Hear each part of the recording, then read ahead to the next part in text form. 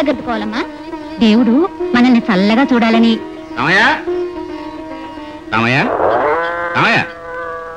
రండి రండి కూర్చోండి. ఏమిటి రంగన్న వాడవాడంతా పోగేసుకొచ్చావు? ఏమిటి సంగతిలో?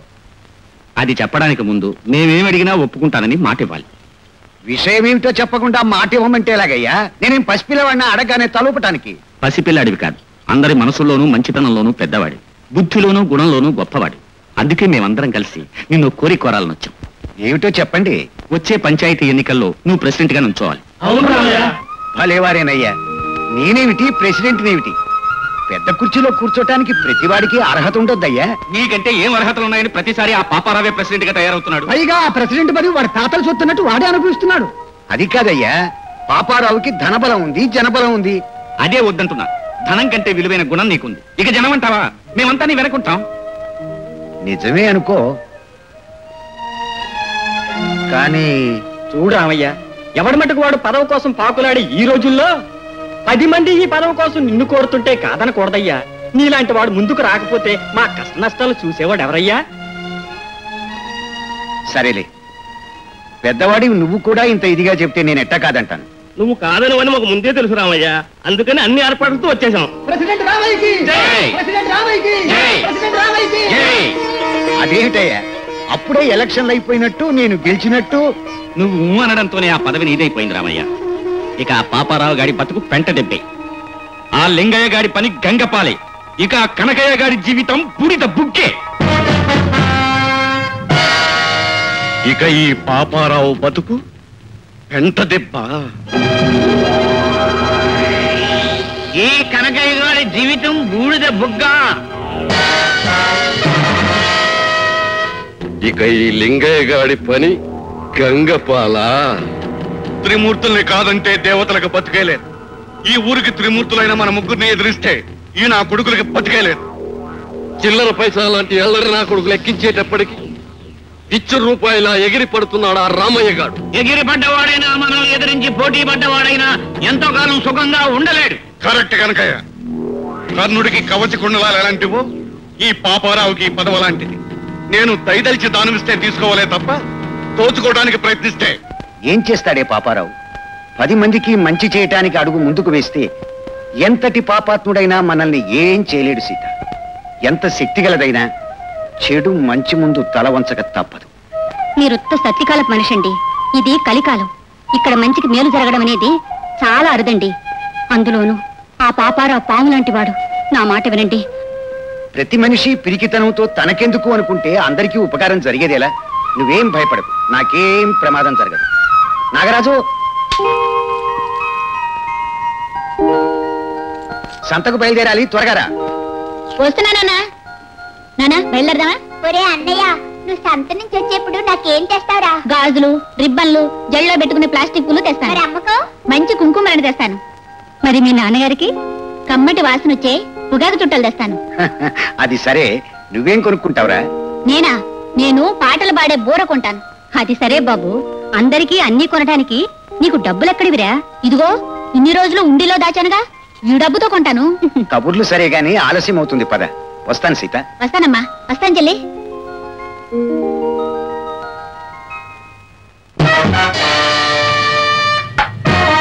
రే మల్లిగా ఈ పాపారావు ప్రేమిస్తే ప్రాణం ఇస్తాడు పగబడితే ప్రాణం తీస్తాడు లొంగిపోతే దయదలుస్తాడు ఎదురు తిరిగితే దారుణంగా తొక్కేస్తాడు. అవునా? నాకు తెలుసు గారు మనకు అన్ని విధాలా ఎదురు తిరిగి పెరిగిపోవాలనుకుని ప్రయత్నించే ఆ రామయ్య గారి కథకు ముగింపు చెప్పాలి. వాడు ఊళ్ళో ఉన్నాడా? లేడు. శుక్రవారం కదా సంతకెళ్ళాడు. సంత కాదు. శ్మశానానికి వెళ్ళాడని చెప్పరా? సంత నుంచి తిరిగి వచ్చే దారిలో నాన్న నాన్న. ఏమిట్రా? నువ్వు వెళ్ళిరా. నేను మెల్లిగా నడుస్తుంటాను.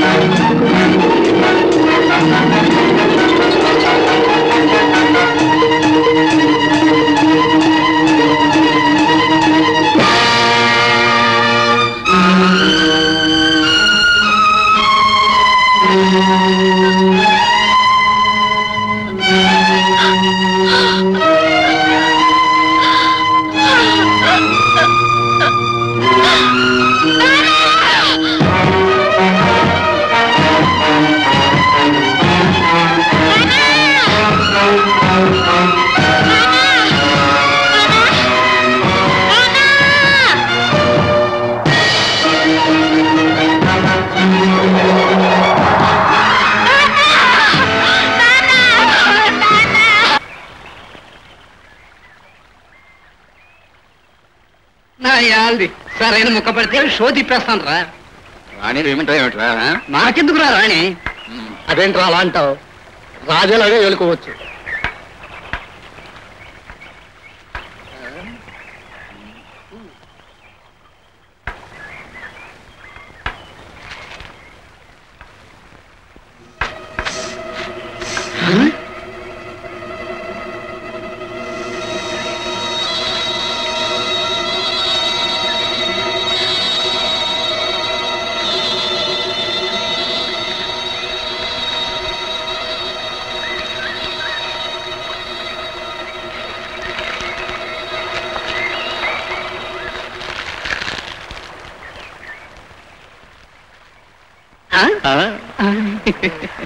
うん。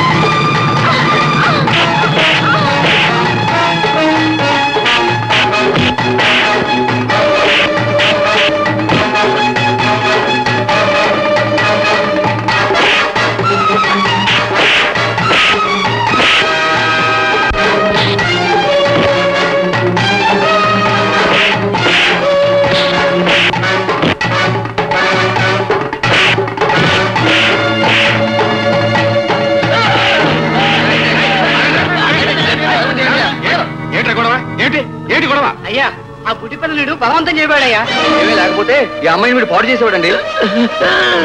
బాబు నేను గుడ్డిదాన్ని. కానీ ఎవరు ఎలాంటి వాళ్ళో నాకు తెలుసు. ఈ మూగ నాగరాజు రాకపోతే వీళ్ళు నా బ్రతుకునే నాశనం చేస్తుండే వాళ్ళు. అబద్ధం చెప్తానంటే గుడ్డిదానా? నోర్ముయండ్రా నాగరాజు మా రామయ్య కొడుకు. భగవంతుడు మాట అయితే తీసుకుపోయాడు కానీ మానవత్వం తీసుకుపోలేదురా. మీరేం చెబితే అది నమ్మడానికి నేనేం వెర్రివాణి కాను. పండి పండిరా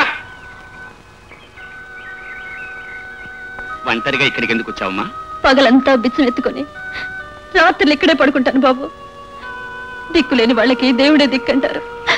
ఆ దేవుడికి కూడా నా మీద దయలేదు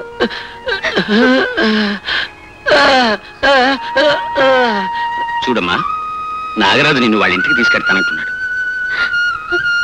అన్నయ్య కళ్ళు లేని గుడ్డిదాన్ని నోరు లేని మూగదేవుళ్ళ వచ్చి నన్ను ఆదుకున్నావు. ఇంత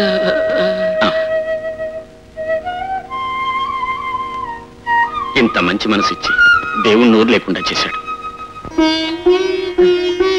మా.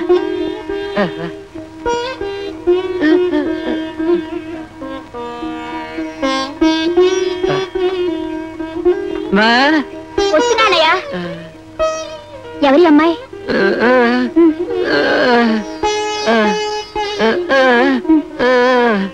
ఏమిటమ్మా లక్ష్మి? ఎవరి అమ్మాయి? గుడ్డమ్మాయి. పాపం ఎవరూ లేరట. మనతో పాటే ఉంటుందని అన్నయ్య తీసుకొచ్చాడమ్మా. అలాగా తన చెల్లెలతో పాటు నేను ఉండొచ్చని తీసుకొచ్చాడు ఈ అన్నయ్య. నా వల్ల మీకు ఏమైనా కష్టం కలుగుతుందేమోనని. అదేమిటమ్మా అలాగంటావు? ఏమున్నా లేకపోయినా మనిషి అన్నాక ఒకరి కష్టాలు ఒకరు పంచుకునే మనసు ఉండాలమ్మా. నా పిల్లలతో పాటు నువ్వు ఇక్కడే ఉండువు గాని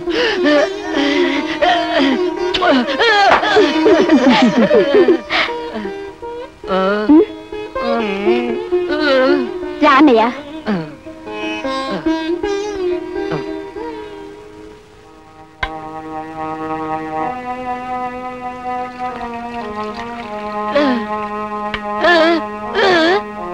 అన్నయ్య ఈ పూట మనందరికీ గంజే గతి. సొసైటీలో బియ్యం పప్పు చింతపండు ఏవీ లేవట.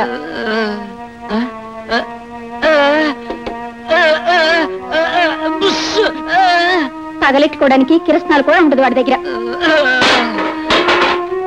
తాగన్నయ్యా.